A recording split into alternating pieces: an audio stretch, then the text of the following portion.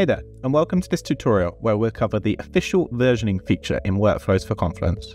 The official versioning feature goes beyond Confluence's native versioning, gives you the ability to select major or minor versions for a document depending on the changes that have been made.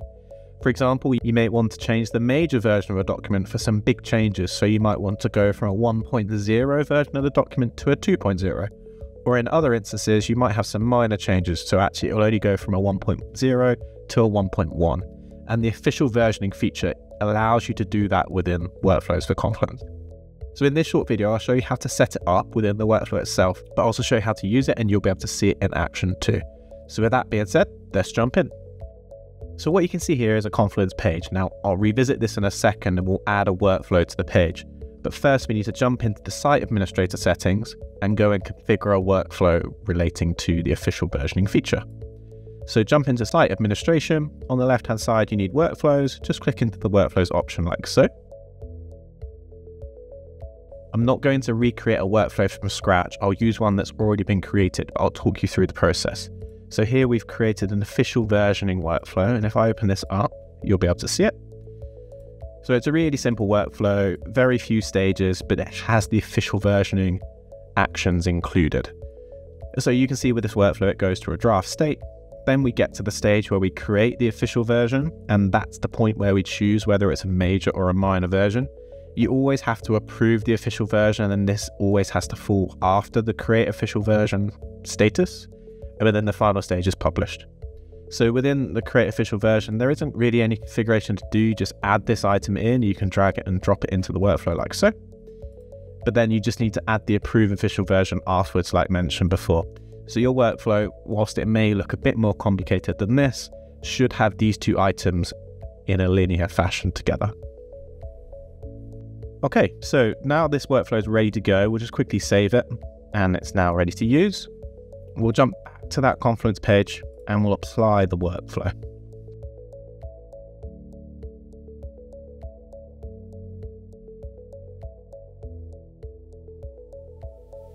And the first status that appears is draft, and this is what we saw just now.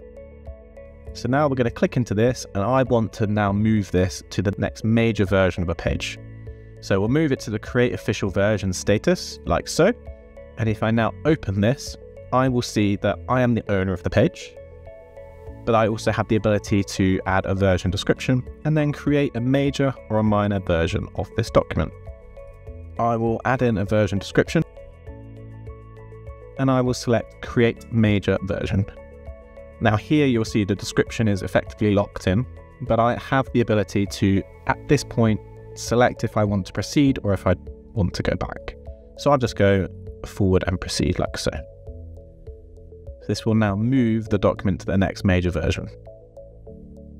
Now, you'll notice that the workflow has progressed to publish. If I click onto this as well, I can see that this page is now at the current version like so. But if I click into the workflow info, I can see a few things. So I can see within the history that the official version has now been created. And you'll see that here with the 1.0.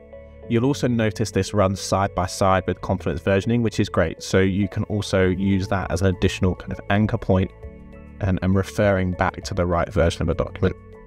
The official version description is included here. So I can open this and I can see exactly what was written by me.